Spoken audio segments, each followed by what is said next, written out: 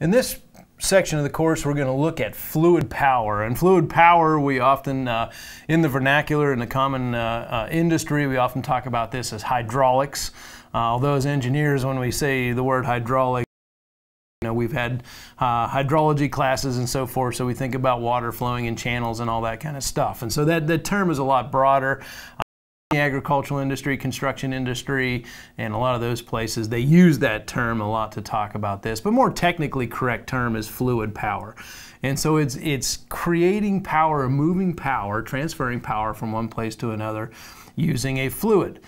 so let's take a closer look at this diagram that we have up here.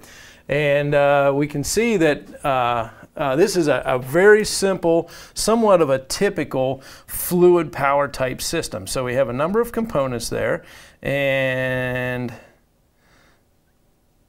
so we'll look at uh, on the left hand side, or actually we'll start from the bottom here. So we usually got some kind of a, of a reservoir or some kind of fluid that we have a supply of that fluid. We have that fluid then moves from the reservoir through a pump. So we've got a pump here that is, and what that pump is actually doing is taking rotational mechanical energy. So there's usually a shaft going into the pump that is rotating. And that shaft, uh, that, that's rotational power that may be from an engine, electric motor, could be a lot of different things. Um, but that is taking that rotational energy, imparting that now into the fluid. So as the fluid moves through the system, it's going to have velocity and it's going to have pressure.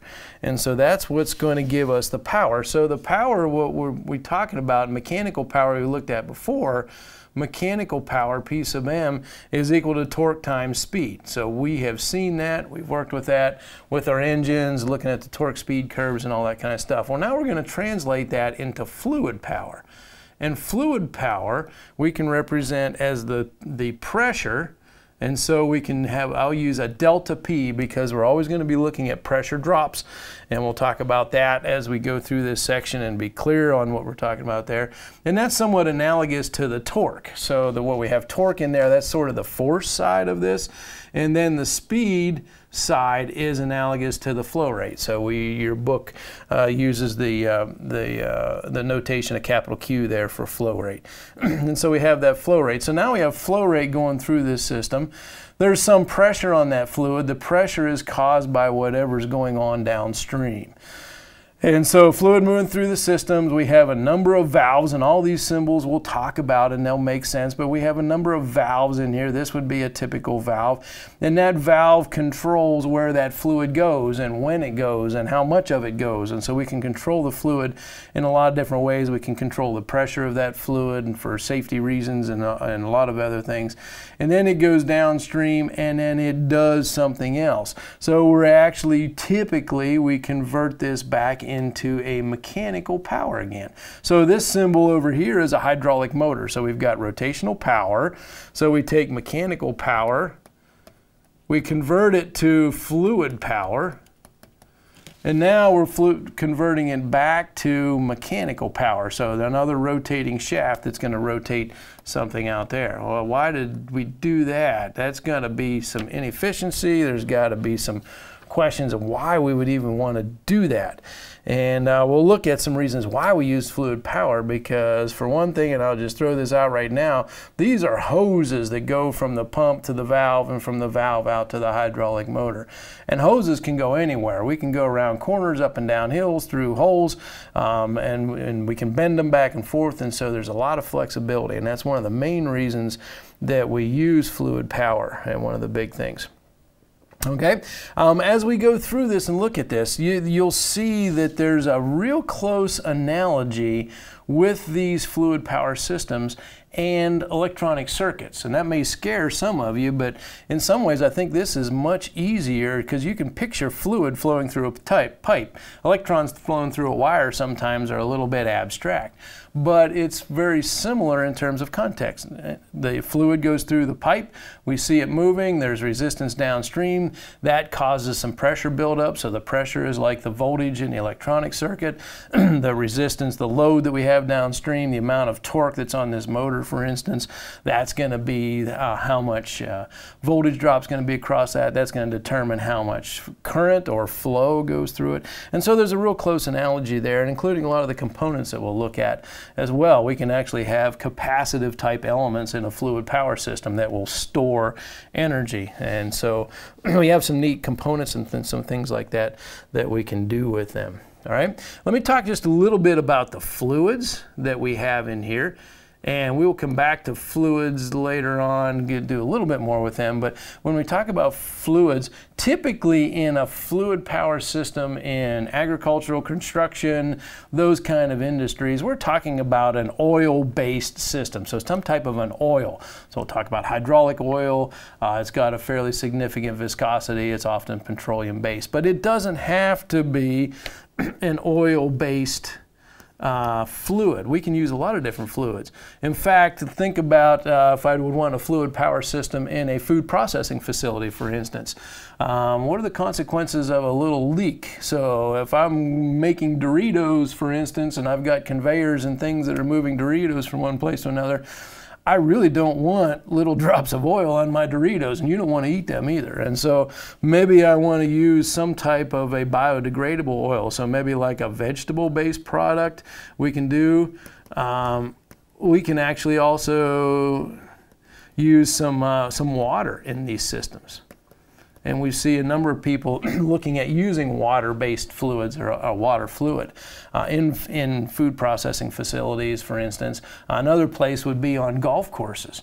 Uh, so the machinery we use to mow and maintain golf courses, a lot of those are hydraulically driven, have fluid power systems. The lawn mowers and so forth have a lot of hydraulics in them if I blow a line, break a, a, hydraulic line on a golf course in the middle of a green and it sprays hydraulic oil all over that green, that green is dead for a long time and it's very expensive to dig out the soil to maintain that or leave a brown spot there is unacceptable. And so we can use, uh, looking at using water so that if it do blow a line, it's not going to cause a problem. Now, the one we have to think about with water, think about water versus oil and it's the lubricity. So oil is going to lub naturally lubricate all our parts, keep them moving and everything. Water won't do that. In fact, water is corrosive.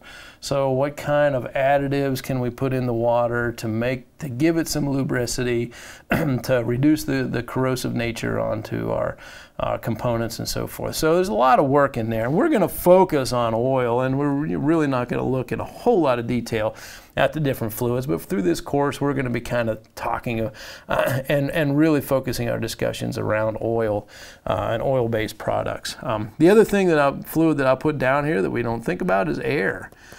and air is a fluid and so we can have pneumatic systems and a fluid power system that works on air. We usually talk about that as a pneumatic system. Uh, so we can do that um, and it's like water and oil except that it's compressible and so that adds a level of complexity in the computation of how we compute flow rates and stuff like that because uh, uh, the air compresses. So flow rates, uh, you know, is going to change based on pressure and so forth. So, so it adds a little level of complexity. And we're not going to go much into air. Again, we're going to focus mostly on oil as the fluid that we work with. Okay. Now, one other thing I want to mention, this drawing over here is a circuit drawing.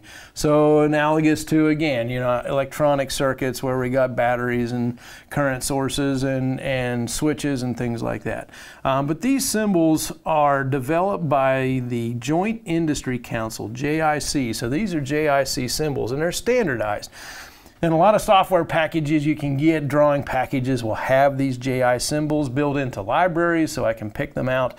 Um, Visio is one that I like to use. The Microsoft Visio is a very simple drawing program, and they have uh, libraries in their uh, engineering uh, um, in their engineering libraries. They have uh, sub libraries with the fluid power components in there, and they're pretty descriptive. And as we go through looking at each one of these components, you'll see that, that the drawing, of the pictorial of it, actually is pretty descriptive of what happens. So that pump there, for instance, it's a circle. So kind of a lot of pumps are sort of round devices, and it has an arrow pointing out showing that, hey, there's, there's oil coming out of that thing or fluid moving out of it.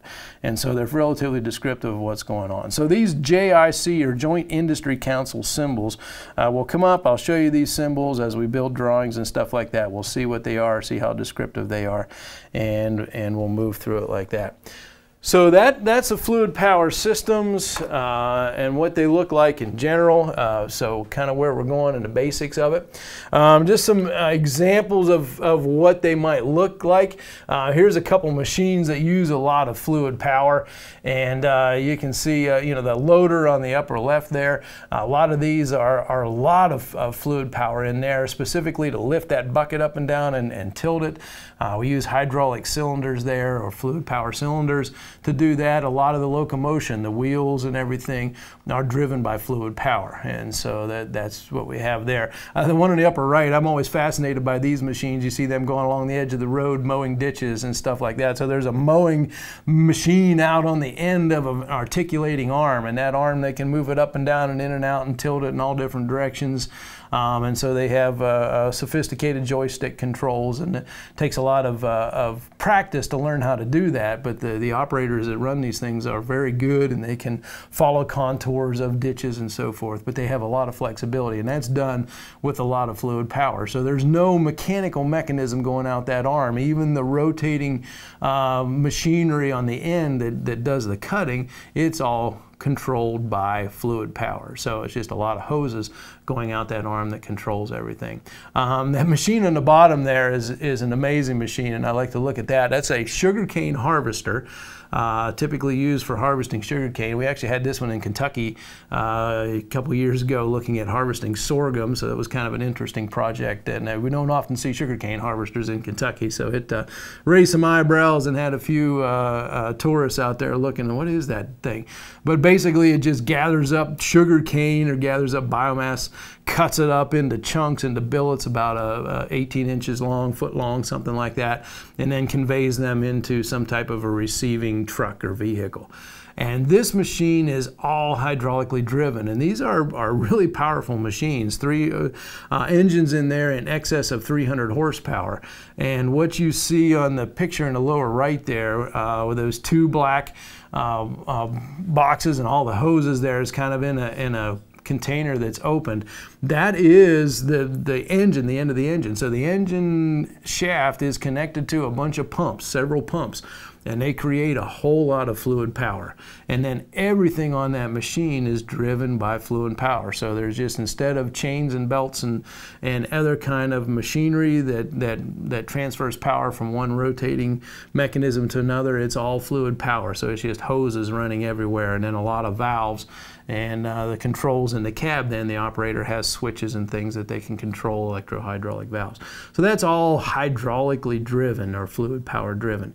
And we see that in a number of a lot of machinery out there. You know, this is just an example of kind of a of a uh, of a pretty large machine, pretty powerful machine, a lot of fluid power, a lot of uh, fluid power development that has to go into a machine like this.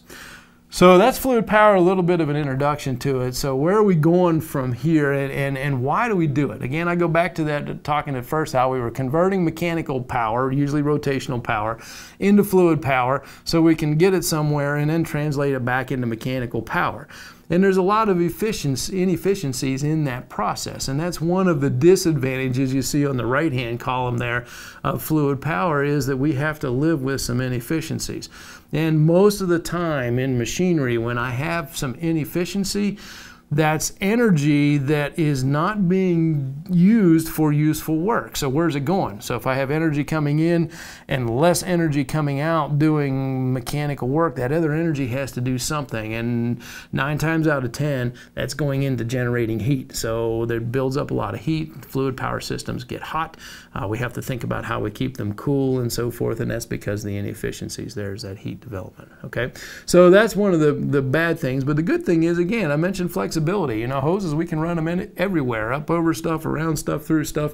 Uh, so that's a, a big advantage is the flexibility, being able to move power from one point to the other. It's very controllable, so I can control flow rates, I can control pressure, so I can control how fast things move, I can control um, how much force I can develop, I can build in safety in these things uh, with pressure limitations, and so there's a lot of uh, advantages in terms of controllability.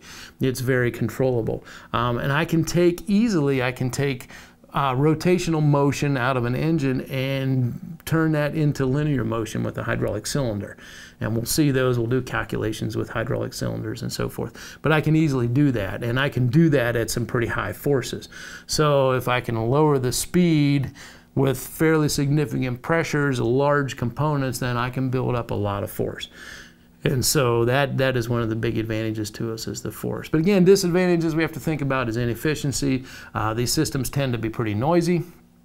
So when you got pumps running and moving fluid and they're going through uh, holes and stuff like that, it's going to sing and make noise. And so they are uh, typically very noisy type systems. Uh, they can be pretty messy. Uh, anybody that's worked around agricultural tractors knows that, uh, and we'll see the connections on the back end of a tractor. One of our labs, we're going to actually measure and evaluate the hydraulic performance or how much hydraulic power is available from the back of a tractor. So we have plug-ins and those plug-ins, they get oil everywhere, so the back of the tractor is always caked with oil, and then when you get in dust, that oil becomes mud, and so you have this, this cake on the back. So it's a very messy system, which is why we have to think carefully before we use it in a place in a, in a sensitive environment, like, as I mentioned, golf courses, uh, food processing facilities, and so forth. You know, we don't want this oil getting on something that it's going to damage. Uh, so those are the things we have to think about. So it's, it's messy and it can be somewhat dangerous.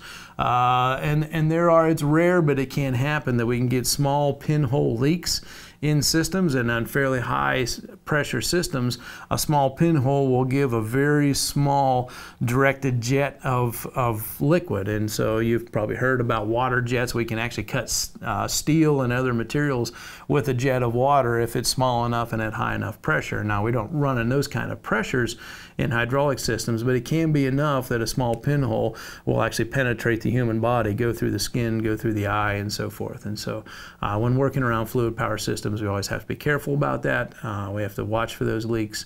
Uh, we always wear eye protection and so forth. Uh, so those are the things that, uh, that we got to think about. So again, this is why we would use fluid power, and what we're going to do is, is look at from here, we're going to look at the different components of a fluid power system. We'll talk about you know the pumps and, and, actuators and valves and all that kind of stuff, and then we'll kind of put it together and do some design work and show you how to do some design. And uh, you know in our department we have a, a whole course on fluid power, so we're going to cover in a week or two just an overview of some of the basics of fluid power. Uh, if this is fun and I, I, enjoy this, there's a lot of logic involved in terms of how we get power from one place to another, how, we, how the fluid moves and designing components. Uh, so the, that course is available. That'll go into more depth and talk about a lot more of it. So we're going to be, again, high level view of, of basics, fundamentals of operation of fluid power systems uh, over the next uh, week or two here in this material.